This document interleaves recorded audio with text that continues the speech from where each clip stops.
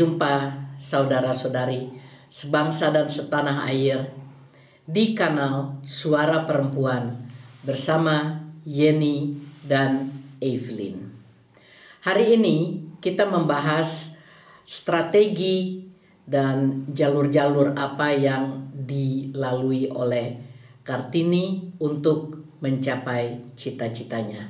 Dan itu akan diperjelas oleh Mbak Yeni. Halo Mbak Yeni. Halo Mbak Evelyn, terima kasih. Um, nah sebelum saya um, jawab uh, lebih lanjut, kita uh, paham dulu konteks saat itu ya, hmm. pemerintah kolonial Belanda. Jadi um, uh, Kartini uh, secara perorangan tanpa dukungan organisasi hmm. harus berusaha bekerja sama dengan pemerintah kolonial kan Saat itu itu, uh, iya. Itu kan intinya ya hmm. nah itu tentu nggak gampang kan ya yeah.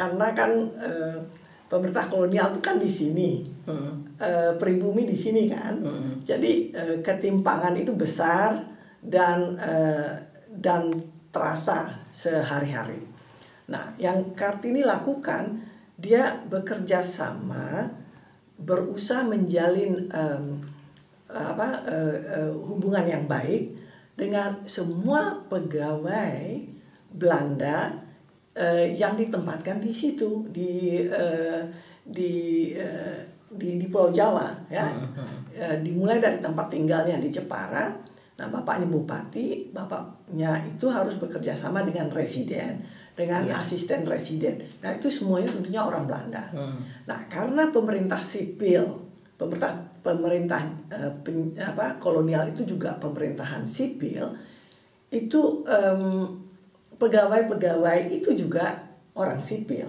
ya. Hmm. Jadi bukan uh, bukan militer. Bukan tentara ya. Ya apabila ada uh, militer uh, yang uh, atasnya militer umpamanya yang yang yang yang menjaga keamanan atau ada ada tugas keamanan atau apa itu tetap di bawah uh, pemerintahan sipil ya. Mm -hmm. Nah untuk untuk untuk Indonesia waktu itu uh, India Belanda ya yang paling tinggi itu gubernur general. Nah itu orang sipil. Nah ya bawahannya itu ya uh, apakah militer atau sipil itu di bawah pucuk pimpinan yang sipil. Nah itu memberikan celah karena berbeda uh, apa uh, efeknya bekerja dengan militer atau bekerja sama ya, dengan orang sipil. Ya. Nah, kayaknya uh, Kartini ini paham sekali karena kan bapaknya kan bupati. Jadi dia menjalin hubungan dengan istri residen atau istri asisten residen. Nah, dia itu kan bukan PNS ya uh, istri itu kan dia kan ikut suami mm -hmm. tapi kan penting juga gitu loh iya, iya. nah eh, Kartini bekerja sama dengan uh, Mari Oving yang kebetulan tinggal di depan rumahnya mm. nah itu sangat bermanfaat tentunya nah Mari Oving itu me memberikan Kartini kan majalah-majalah atau buku-buku yang bermanfaat untuk mengembangkan ya, ilmunya nah salah satunya itu uh, majalah The Holland Seleli ya yang yang itu majalah orang Belanda gitu. Hmm. jadi dikirim ke ke Hindia Belanda Mari Oving bilang kamu udah begitu banyak uh, menulis menulis surat kamu coba uh, memasukkan tulisanmu ke majalah The Holland Seleli itu hmm, artikel atau apa iya semacam hmm. artikel dia lakukan waktu itu umur dia mungkin belum 20 deh karena kan dia 1879 ya lahirnya. Hmm. Nah, dia yang pertama kali menulis itu kalau nggak salah eh, tahun 1900. Jadi 20 21 ya. Oke. Okay. Nah, hmm. nah, dia menulis buku eh menulis di majalah itu, kemudian tulisan dia dilihat dan diakui dan di, dihargai oleh redaksinya. Nah, redaksi itu kemudian me, me, memperkenalkan dia dengan eh, eh, orang-orang uh, yang sekaliber dia aja. Itu orang-orang yang uh, di Belanda yang ingin meng, memperbaiki um, posisi perempuan umpamanya. Hmm. Nah, dia berkenalan dengan yang namanya Stella C. Handler eh, itu orang sangat kagum dengan Kartini memperkenalkan lagi orang lain dan eh, dia kirim Kartini buku-buku yang memperlihatkan em, kehidupan masyarakat Belanda di Belanda Ya, oh, oke. berbeda kan ya, Ya, berbeda masyarakat sekali Belanda ya. di, di, di penjajahan. Jadi di situlah Kartini me- mengamati dari dari dalam dari orang Belanda sendiri bagaimana masyarakat Belanda yang tidak mengenal eh, penjajahan kan ya, kan itu kan negara merdeka. Menurut dia itu masyarakat Belanda itu masyarakat egaliter, masyarakat yang melibatkan penduduknya dalam segala eh, hal gitu. Mm-mm. Jadi eh, di situ Kartini melihat kalau kita ingin maju, kita harus membangun masyarakat seperti masyarakat Belanda gitu loh. Oke. Jadi eh, begitu. Nah, em, dia berkenalan dengan Stella Seyhandler, lalu berkenalan lagi dengan orang-orang lain. Kemudian dia me- makin mengenal eh, apa eh, eh, infrastruktur politik Belanda, karena kan politik Belanda di Belanda berbeda dengan politik Belanda di penjajahan kan ya. Iya, iya. Umpamanya parlemen mana ada di Indonesia waktu itu kan Iya. ya, negara negara koloni. Jadi dia mengenal eh, fungsinya parlemen bahwa Belanda itu di negeri di, di negeri induknya di Eropa itu adalah negara demokrasi. Nah itu dia kenal. Jadi bahwa Tweede Kamer itu parlemen itu ada fungsinya. Di situlah dia berkenalan dengan dengan anggota-anggota dewan antara lain Van Deventer, eh, kalau nggak salah eh, yang eh, menulis eh, buku eh, eh, eh, ya semacam publikasi tentang ereschuld, Oh, oke. hutang eh, hutang moral Belanda kepada, Kepada Indonesia. Indonesia. Karena Indonesia kan negara jajahan, negara yang yang yang dica- diambil Isinya. untungnya Iya. dibawa ke Belanda kan Iya, gitu. Nah, dan itu dengan dengan pinternya mereka lakukan kan. Nah, Van Deventer ini eh, bilang bahwa sekarang sudah ada waktunya eh, untuk eh, membalas membalas kembali hutang Belanda, Belanda. hutang moral. Nah, itu salah satunya dengan eh, akses pendidikan di Hindia Belanda untuk orang pribumi gitu. Jadi Kartini menciumkan dia ingin itu ada orang lain juga gitu loh. Nah eh, juga em, umpamanya residen Jepara yang baru setelah eh, setelah eh, eh, Menir eh, Oving itu berangkat eh, itu orang yang bilang bahwa yang punya eh, yang punya persepsi bahwa eh, pegawai Belanda yang ditempatkan di Hindia Belanda itu tugasnya adalah untuk meningkatkan SDM-nya penduduk Jawa. Jadi tugas kita itu bukan untuk bukan dia kan birokrasi nih pegawai-pegawai Belanda taruh sini. Nah tugas kita di di Hindia Belanda itu untuk mem- memperbaiki eh, eh, kehidupan penduduk penduduk yang kita tinggal eh, yang kita tempati. Iya, iya. Nah, itu kan bukan main itu. Itu katanya eh, salah satu akibat dari em, eh, Multatuli. Pernah eh, pernah dengar kan ya? Iya, iya. Tuh Dawas Dekker. Iya, Max Havelaar kan ya. Nah, itu yang menganggap bahwa eh, eh, penduduk eh, penduduk pribumi itu kan di di dikerjain ya, di, di dizolimin nggak hanya oleh oh, da- dalam segala macam lapisan kan ya. Jadi eh, nggak usah kita bahas lah itu sekarang. Eh, nah, yang menganggap bahwa eh, hutang eh, hutang moral Belanda itu eh, lewat pendidikan itu nggak hanya Van Deventer aja, juga ada de orang dewan lainnya, umpamanya Hendrik van Kool kalau nggak salah. Nah, dia latar belakangnya insinyur. Jadi dia ke ke ke ke koloni waktu itu melihat eh, teknik inilah, teknik irigasi kan untuk memperbaiki em, hasil. Nah, Iya. jadi em, eh, apa eh, Kartini ini sangat eh, cerdas eh, menyesuaikan diri dengan kondisi saat itu. Iya, iya. Nah, eh, pemerintahan eh, eh, pemerintahan kolonial punya eh, punya pegawai-pegawai yang semuanya orang sipil yang sebenarnya punya tu- eh, punya tugas untuk memperbaiki eh, eh, apa ti- eh, kualitas penduduk setempat. ya.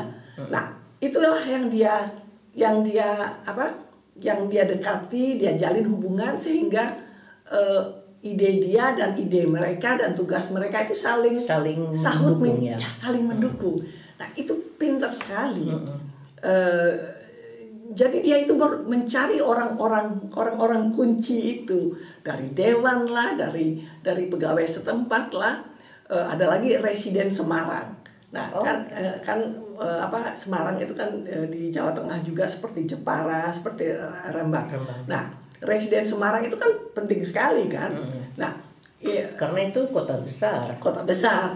Nah, residen Semarang itu eh, kalau nggak salah namanya Seidhof Piet Seidhof.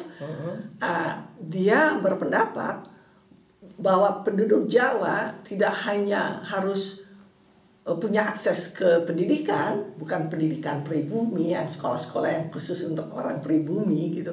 Tetapi mereka juga harus punya akses ke sekolah pendi- eh, ke sekolah Eropa. Jadi Europese Lagere School, Europese eh, HBS atau gitu loh.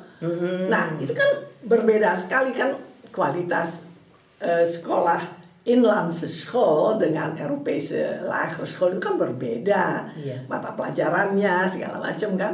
Nah, ini Piet Seidhof yang residen di Semarang itu menganggap bahwa eh, penduduk Jawa, jadi bukan penduduk Semarang aja, itu harus punya akses kepada sekolah-sekolah eh, Europese School yang di- sebetulnya dibuka untuk orang kulit putih kan. Iya.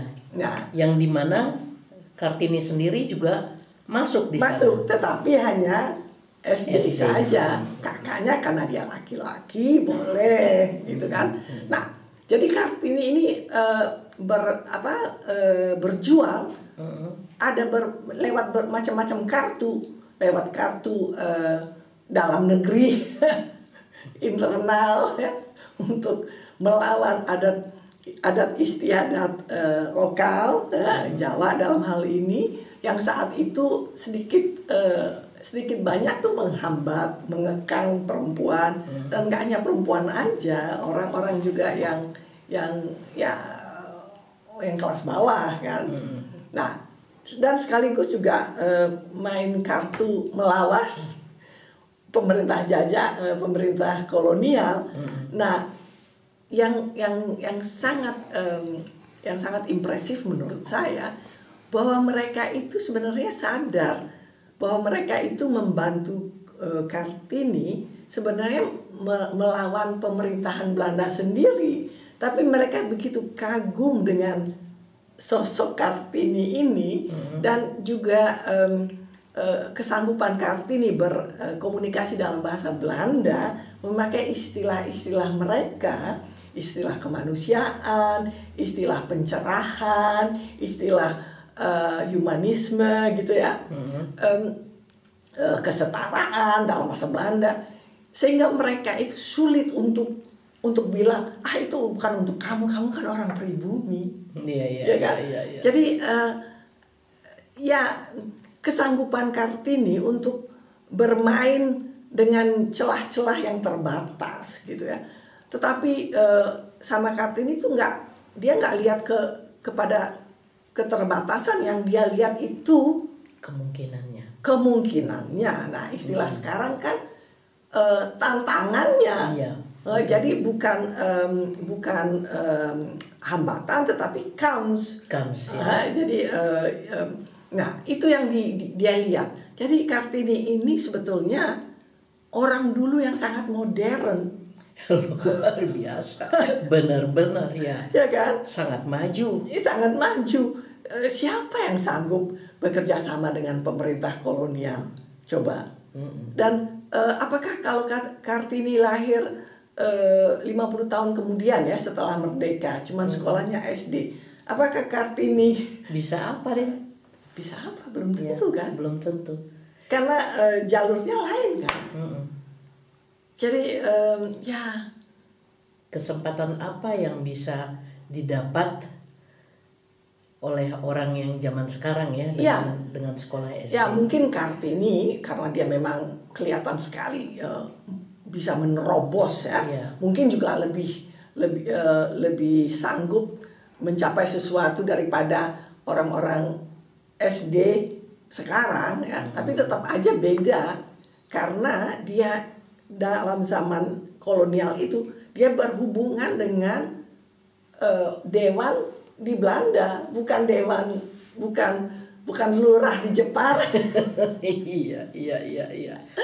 dan dan dia pernah membuat em, eh, pamflet em, itu untuk me, untuk mengisi em, eh, atau memperjelas keinginannya rencananya em, untuk memperbaiki eh, eh, bangsanya mindful kan nah itu boleh dia tulis di di pamflet itu. Nah itu yang saya bilang yang geef dan Javan opvoeding angkatlah ha, eh, eh, bangsaku Bangsaku, orang Jawa. iya. nah itu atas perintah minister van koloni jadi menteri penjajahan Belanda.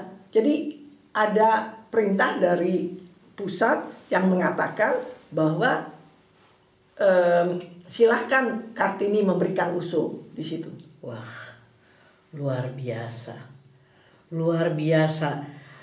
Ya, em, kita akan melanjutkan eh, bincang-bincang kita di lain kesempatan. Sangat interesant sekali, itu menarik banget luar biasa menariknya. Sangat kagum dengan Saya- Kartini. setuju Iya.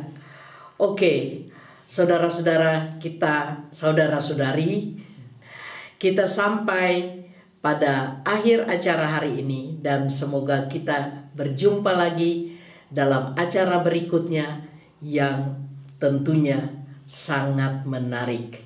Terima kasih. Terima kasih. Terima kasih.